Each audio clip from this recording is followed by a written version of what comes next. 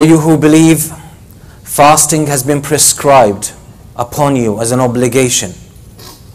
Just as it was prescribed for the nations and the people who came before you, so that you may attain taqwa.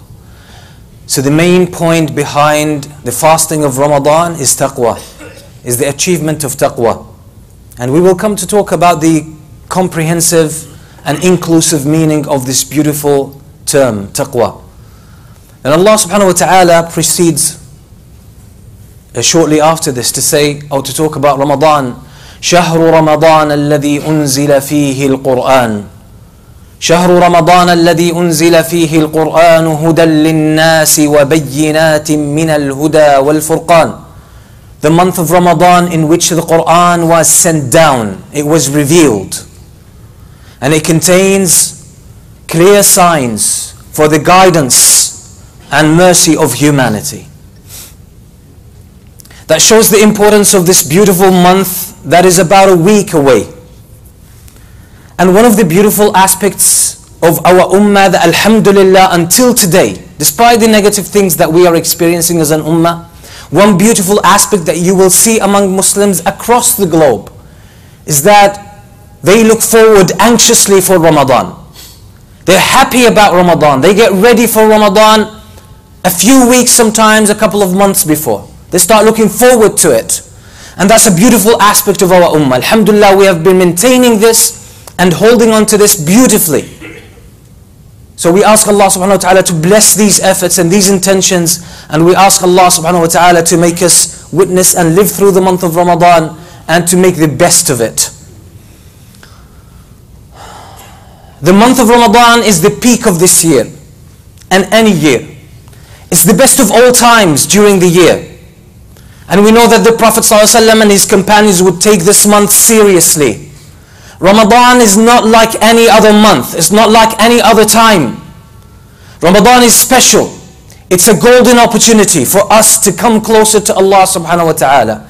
The things, the beautiful and positive things that combine in Ramadan, they never combine any time else Anytime else. This is why Ramadan is so special.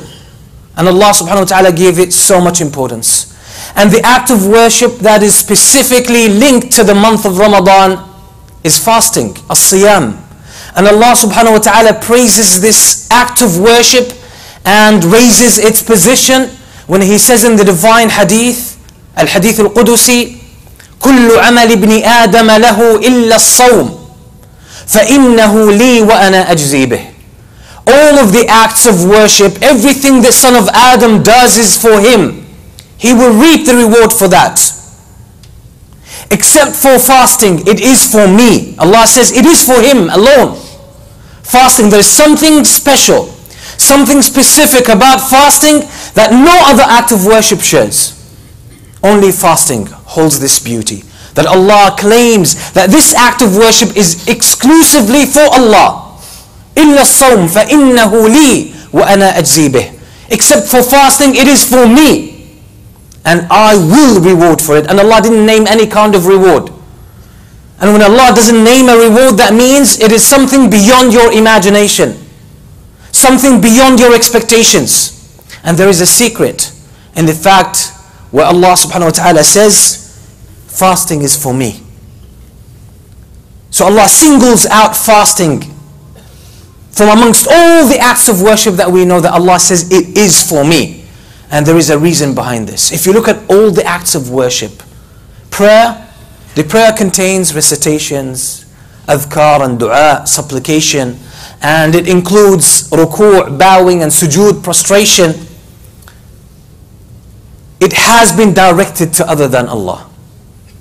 There are people who prostrate themselves before other than Allah. There are people who bow before other than Allah throughout the ages.